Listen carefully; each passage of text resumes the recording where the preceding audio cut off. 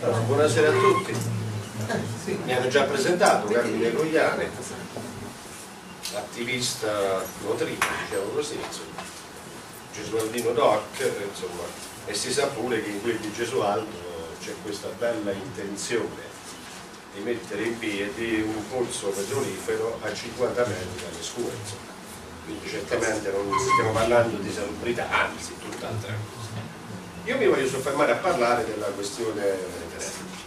Chiaramente noi qui stiamo toccando dei temi che sono importantissimi, acqua, terra e aria, gli elementi basilari per una buona vita, ma credo sia importante in questo momento parlare di, di, referendum, perché il referendum in un certo qual modo riesce ad accorpare insieme tutte queste problematiche.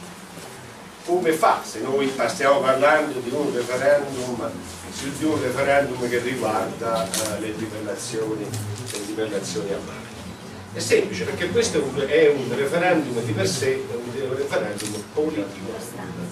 È un referendum politico perché noi mettiamo in discussione quella che è la strategia energetica nazionale. Già stato detto da Roberto che mi ha preceduto, la mettiamo in discussione perché chiaramente non si può pensare che oggi eh, si possa ancora eh, pensare di attingere energia da fonti fossili non si può pensare di trivellare un'intera un nazione, non si può pensare di trivellare un intero mare in, uh, solo per far, comodo, per far comodo alle lobby del petrolio.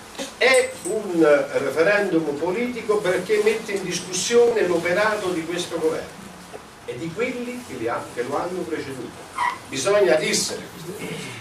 Ora, noi possiamo fare la differenza, oggi siamo in grado di fare la differenza, perché poi alla fine di tutto bisogna pur dire che quei quattro comitatini di cui parlava Renzi, non molti secoli fa, insomma, dobbiamo andare indietro di un anno, un anno e mezzo, insomma, quando ci disse che eravamo quattro sbandati e quattro comitatini.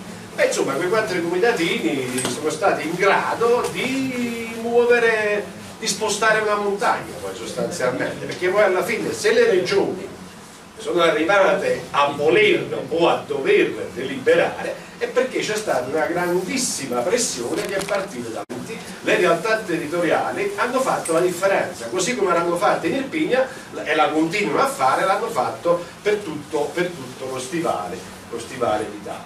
Il 17 di di aprile allora il referendum si va a votare eh, su, un unico, su, un unico, quesito, un quesito di per sé tecnico che ci parla delle 12 miglia marine e ci parla della durata dei giacimenti eh, petroliferi, petroliferi a mare. Ma noi dobbiamo declinare la questione in maniera diversa perché guai a dire eh, è un referendum che riguarda esclusivamente, esclusivamente, le coste e che riguarda esclusivamente il mare. È chiaro che da buon italiano, l'ho già detto altre volte, non mi stancherò mai di dirlo, l'italiano risponderà in questa maniera. Ma che vuoi che me ne frega, tra virgolette, a me, se poi riguarda solo quella parte d'Italia? Invece no, riguarda un intero assetto cioè energetico come, come, dicevo, come dicevo appunto prima c'è stato un primo atto di sabotaggio, quello di oggi, non si respira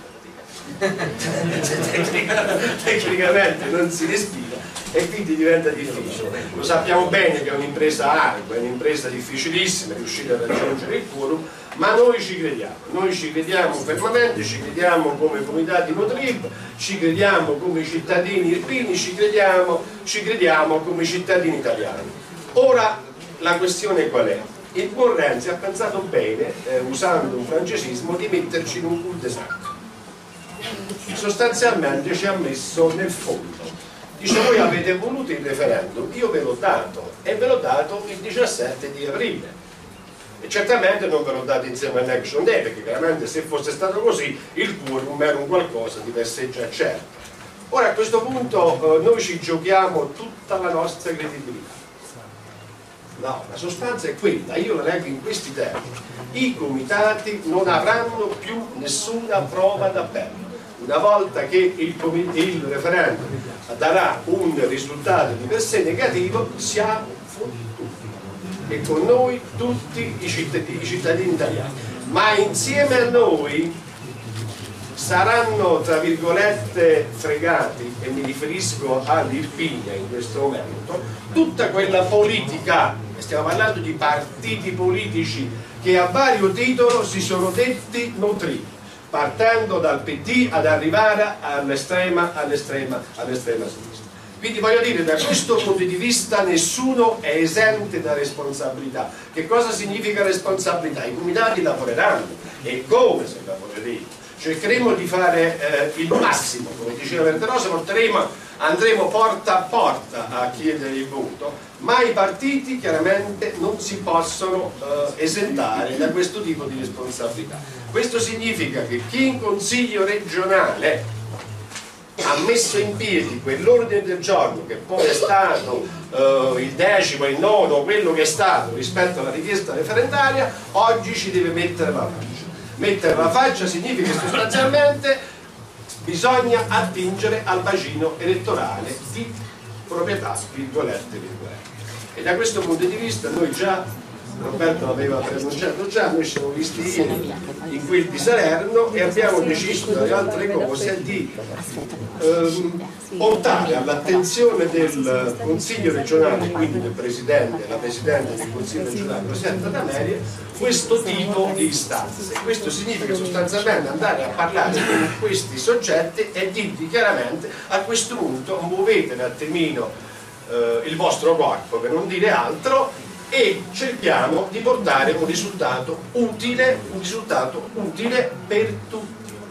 per tutti. Non avremo prove d'appello. L'Irpinia da questo punto di vista non può essere considerata come quella che prima platera, canta, parla e sparla e poi alla fine, quando si tratta di assumersi responsabilità, di metterci la faccia, si gira dall'altro.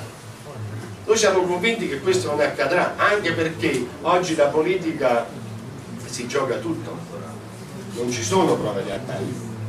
Ripeto, noi lavoreremo per quello, per quello che si può, però è un lavoro collettivo. Un'altra cosa a cui tengo, sì, un minuto, un minuto solo e, finisco. D'altronde i temi erano quelli, eh, sono eh, quelli no, che sono. Insomma. Mm, non mi voglio soffermare sulle altre due questioni, giusto una cosa, la questione dell'acqua bisognerebbe dire questo, insomma in termini sospetti noi eh, abbiamo più volte ragionato sulla questione dell'alto calore servizio e sull'alto calore patrimonio, per cui ormai è andato a finire nel dimenticatoio, può darsi pure che per un discorso di compensazione debiti e crediti poi alla fine eh, si rivelano, può darsi pure che alcuni comuni non hanno colpo neanche di più però bisogna eh, puntare l'indice su chi ha ritenuto di dover mantenere per diverso tempo, anzi per tanto tempo, uno smembramento voluto dell'alto calore in due settori. Chiaramente a questo punto se abbiamo il deficit che abbiamo non è un caso, perché se io mi occupo dei servizi, tu ti occupi del patrimonio, all'interno di quel calderone ci vanno tutti i trombati della politica, tra virgolette, o i furbetti della politica, perché è così poi alla fine il risultato che abbiamo è un risultato lampante, oggettivo e su cui non si può dire nulla. Perché è il sistema che ha creato questo tipo, questo tipo di assetto. Allora abbiamo la possibilità oggi di capire Oggi i comitati possono fare la differenza e finisco, la possono fare sulla questione petrolio con l'impegno costante e collettivo, la possono fare sulla questione dell'acqua con l'impegno costante e collettivo, la possono fare sulla questione dell'eolico. L'eolico, chiaramente, io mi ricordo, e finisco un minuto 30 secondi per dire questo, negli anni 90, quando iniziarono i primi parchi eh, in quel di Bisaccia, erano un po' tutti contenti, tra virgolette, i parchi sperimentali, che bella cosa, chissà quale vantaggio avremo, poi col tempo ci si è reso conto realmente di quello che è. E c'è stato, e c'è stato quello che c'è stato, ma c'è stato quello che c'è stato perché a monte, stiamo parlando della regione Campania, hanno dormito, non possiamo pensare che un PEAR, un piano energetico ambientale regionale sia chiuso in, in un cassetto dal 2010 e mancava l'ultimo passaggio, approvato in giunta mancava il passaggio in consiglio regionale a questo punto ben vengono tutte le emozioni del mondo, ma che si arrivi una buona volta con sincerità e con franchezza a mettere mano al PER, perché il PER può limitare i danni derivanti da petrolio o connessi, i danni derivanti da eolico o connessi, può dare una ragione di, esistere dal progetto pilota, può dare tanta possibilità di sviluppo a questi sviluppi.